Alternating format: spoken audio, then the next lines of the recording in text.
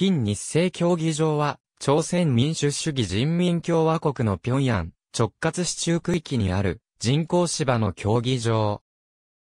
マスゲームを行う際の競技場として使われるため、観客席の椅子は背もたれもないプラスチック製で取り外せる構造になっている。大道港西岸、外専門の東側に立地する。元は、ボタン砲競技場という小規模の運動場であったが、70年代に競技場の増改築を行った時に数千人がマスゲームの練習を頻繁に行えば天然芝では傷んでしまうために人工芝を敷き詰められた。1982年に金日成主席が70歳の誕生日を迎えたことを記念して解消されると同時に拡張された。収容可能人数は約5万人。陸上トラックと人工芝のサッカーコートを有する競技場で人工芝は国際サッカー連盟が無償で提供している。朝鮮日報によると人工芝で摩擦力が強く男性が低く足首や膝の怪我のリスクが高いので W ハイやアジアカップの本大会を開催することができない B 級競技場である。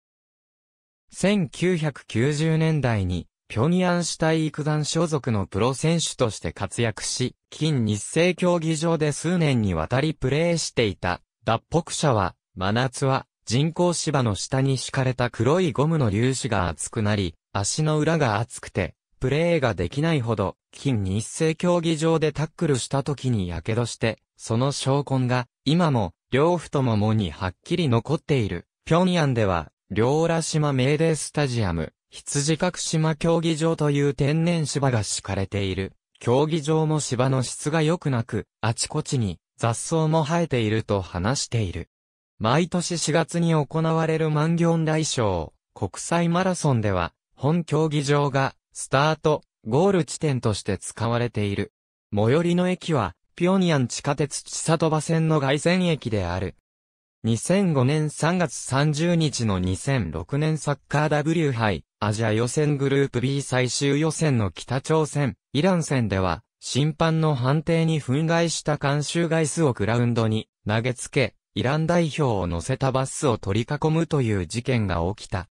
そのため、北朝鮮は FIFA から2万スイスフランの制裁金を課され、同年6月8日に本競技場で開催される予定だった同最終予選北朝鮮日本戦は、タイでの第三国無観客試合となった。2011年11月15日の2014年サッカー W 杯アジア予選3次予選グループ C では、本競技場で北朝鮮日本戦が開催された。日本戦が平壌市内で開催されたのは22年ぶりとなった。2017年4月の金日清競技場でアジアサッカー連盟の女子アジアカップ予選の試合を行った韓国人選手たちは、機械のように一糸乱れぬ動きを見せる5万人の観衆に驚いた。池原以前は応援の熱気があまりにすごく、ひょっとして家に帰れないのではないかと思った。キム・ジョンミは試合開始を前に私たちが頑張ろうと叫ぶと、それを聞いた北朝鮮の選手たちが殺してやろうと対抗してきた、競技場の圧倒的応援はむしろ、北朝鮮選手にとって、重荷として作用する、可能性もあるため、気持ちで押されてはいけないと語っている。2019年の W 杯予選の南北戦で、北朝鮮が選手団を除く韓国側人員の包丁を何の説明もなく不許可にしたため、韓国代表チームは報道陣も応援団も一人もいない、テレビの生中継もない中でプレーするという異様な状況での試合を強いられた。朝鮮日報は、北朝鮮は2011年に、平壌で日本と W 派予選をした際に生、中継したが、韓国に対しては冷淡だ。付き合わない、茹でた牛の塔、おじけづいた犬と北朝鮮に嘲笑されても2032年、ソウル、平壌五輪共催を主張する、ムンジェイン大統領だが南北でサッカーを一試合するのも、難しいのに、何が五輪共催なのか、と批判している。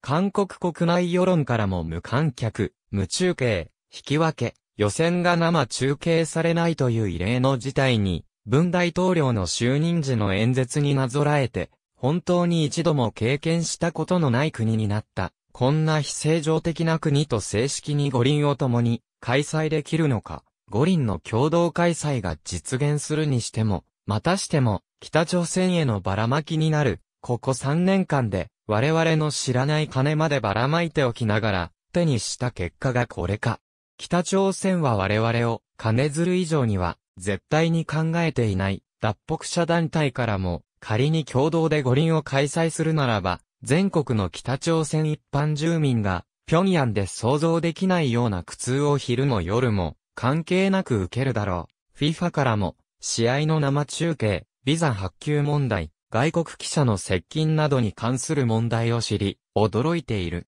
言論の自由は最も重要な価値だと北朝鮮の顔色ばかり、伺って何もできずに共同開催のみを主張している、韓国政府への批判の声で埋まった。ありがとうございます。